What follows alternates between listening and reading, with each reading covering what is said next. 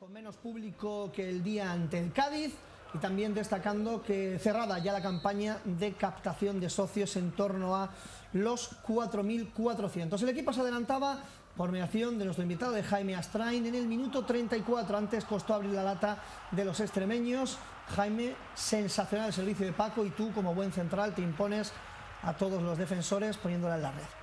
Sí, eh, como, como, tú bien has dicho, él lo puso literalmente a la cabeza y bueno, tenía, cuando vi el balón tenía que, que meterla adentro como fuese y así fue. Vemos ese saludo militar y una toma más de este gol del Real Jaén, de este 1 a 0. Costó abrir la lata, pero en tan solo tres minutos prácticamente se liquidó la contienda. Muy similar a la eficacia que mostró el cuadro de Aibar frente al filial verde y blanco la semana pasada. Ahí están los abrazos de los jugadores a nuestro invitado, a Jaime Astrain, que pese haber nacido en Madrid, almeriense, de corazón, la ficha pone Madrid, le diremos almeriense. Y como decíamos, en tres minutos, tan solo gran jugada de Óscar Quesada, sensacional el regate, y Javi la pone perfecta para que Pedrito, segunda semana consecutiva en el 37, la cruce ante la salida de Sabo. Así es, la verdad que sería una circunstancia difícil ver en el fútbol, los dos medios centros del, del equipo el defensivo y el más, más ofensivo, como en el caso de Pedrito, los dos intervinieron en la jugada dentro del área rival. La verdad que fue una gran jugada por parte de Oscar y la verdad que Pedrito acompañó muy bien la jugada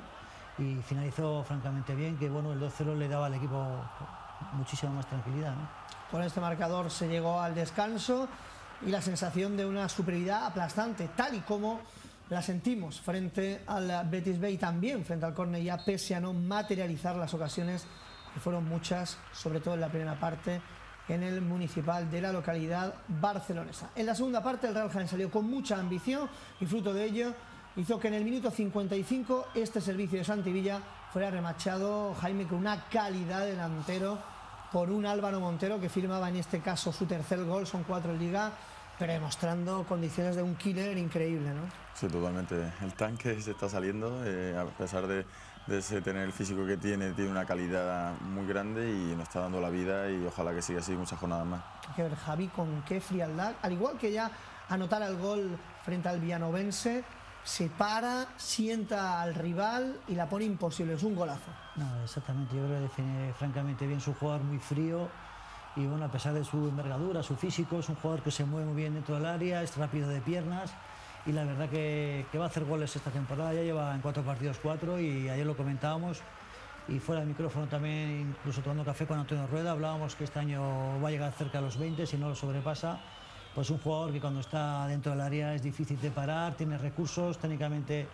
está bien dotado y lo tiene claro, lleva el gol entre ceja y ceja ya lo vimos cómo definió esa jugada. El tanque Montero, el Real Jaén que se lo suyo, veíamos a Ibar dando órdenes y en esta cabalgada de Nando el colegiado decreta penalti Urco Arroyo anota, lo celebra de manera muy emotiva, luego veremos las imágenes porque el primero en abrazarle es Álvaro Montero, que fue el que le discutió el lanzamiento del penal, quería marcar el gol de penalti del madrileño, pero finalmente fue el bilbaíno Urco el que cruzó,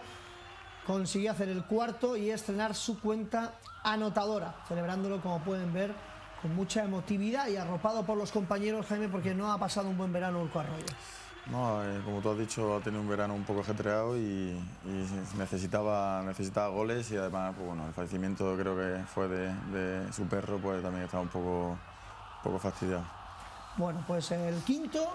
llegó por mediación de Álvaro Montero de nuevo. Y es que cuando un delantero está en gracia lo mete absolutamente todo, como recoge la bola, recorta su par Javi y la pone imposible para Sabu, firmando su cuarto gol en liga cuatro goles en cuatro jornadas, se perdió por ese golpe que sufrió frente al Cádiz en el encuentro de Copa, pero demostrando que, que está, como decías anteriormente, en condiciones de, de, sumar los goles necesarios para que el equipo esté arriba toda la temporada. Sí, yo creo que ha sido un acierto por parte del club el hecho de que seguir contando con Montero porque es un jugador difícil de encontrar y sobre todo tiene unas, unas condiciones muy peculiares, es decir, te puede ayudar en el juego aéreo, te ayuda también en los goles, que es evidentemente para lo que por lo que está en el Real Jaén, pero lo que comentaba antes, un jugador que dentro del área se gira muy rápido, define bien, tiene recursos y no es fácil encontrar un delantero con,